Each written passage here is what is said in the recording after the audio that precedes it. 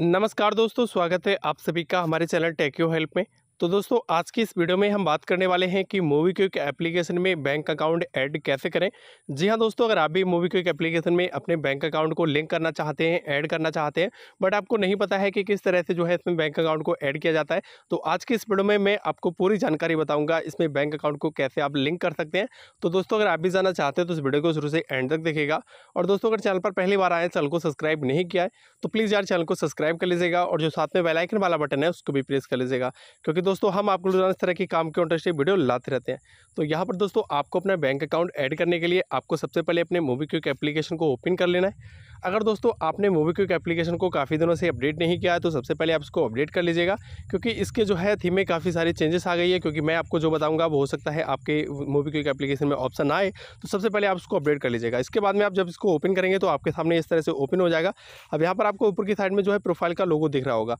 तो आपको यहाँ पर प्रोफ़ाइल के लोगों पर क्लिक करना है, उसके बाद में आप यहाँ पर बहुत सारे आपको ऑप्शन मिलेंगे यहाँ पर आपको एक ऑप्शन मिलेगा मैनेज का यहाँ पर नीचे आएँगे ये ऑप्शन मिलेगा आपको अकाउंट का तो आप किसी भी ऑप्शन पर क्लिक कर सकते हैं तो मैं यहाँ पर अकाउंट के ऑप्शन पर क्लिक कर देता हूँ उसके बाद में आप यहाँ पर थोड़ा सा नीचे आएँगे नीचे आने के बाद में यहाँ पर आपको बहुत सारे ऑप्शन दिख जाएँगे तो यहाँ पर आपको एक ऑप्शन मिलेगा ऐड बैंक अकाउंट का जो भी आपने यहाँ पर बैंक ऐड कर रखी होगी वो बैंक भी आपको यहाँ पर शो हो जाएगी तो यहाँ पर आपको अपना बैंक अकाउंट ऐड करने के लिए ऐड बैंक अकाउंट के ऑप्शन पर क्लिक करना है उसके बाद में आपका बैंक कौन है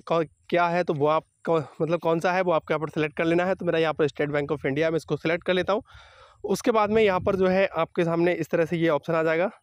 तो गाइस यहाँ पर देख सकते हैं मेरा जो बैंक अकाउंट है, वो यहाँ पर लिंक हो चुका है। क्योंकि दोस्तों, यहाँ पर मैंने ऑलरेडी इसको पहले ही बैंक अकाउंट को ऐड कर रखा था, उसके बाद में मैंने इसको रिमूव कर दिया। इसलिए दोस्तों, आगे की डिटेल जो है, यहाँ पर नहीं आई। मैंने अपना बैंक सेलेक्ट किया, उसके बाद में इसने नंबर को फैक्स कर लिया, उसके बाद में ऑटोमेटिकली जो है, यहाँ पर मेरा बैंक आ चुका है स्टेट बैंक ऑफ़ इंडिया लेकिन दोस्तों, अगर आप यहाँ पर पहली बार अपना बैंक अकाउंट ऐड करोगे तो उसके बाद में आपके नंबर मर जो है, जो आप नंबर यूज़ करते हैं, जो आपके बैंक अकाउंट में नंबर लिंक है, उस पर बैलेंस होना बहुत ज़रूरी है, उस पर एस का रिचार्ज होगा, तभी आप अपने बैंक को यहाँ पर वेरीफाई कर पाएँगे। उस पर नंबर पर आपके मैसेज वेरीफाई होगा, उसके बाद में आपके जो आपका कार्ड नंबर होता है, वो आप कार्ड नंबर डालेंगे कि सी नंबर डालेंगे एक्सपायर डेट डालेंगे, उसके बाद में आपके नंबर पर ओ कोड आएगा। वो यहाँ पर आप डालेंगे, उसके बाद में ही आप अपना, आपका जो बैंक अकाउंट है, वो यहाँ पर ऐड हो पाएगा। अगर आपने जो है यहाँ पर अभी तक अपना पिन नहीं बनाया है तो आप अपना पिन भी बना सकते हैं, नया पिन तो दोस्तों, इस तरह से आप जो है मूवी के एप्लीकेशन में अपने बैंक अकाउंट को ऐड कर पाएँगे। तो उम्मीद करता हूँ कि आप लोग को वीडियो पसंद आई होगी। अगर वीडियो पसंद है तो वीडियो को लाइक करें और चैनल को सब्सक्राइब नहीं किया तो प्लीज़ यार चैनल को सब्सक्राइब कर ले। मिलते हैं नेक्स्ट वीडियो में तब तक के लिए जय हिंद वंदे मातरम धन्यवाद।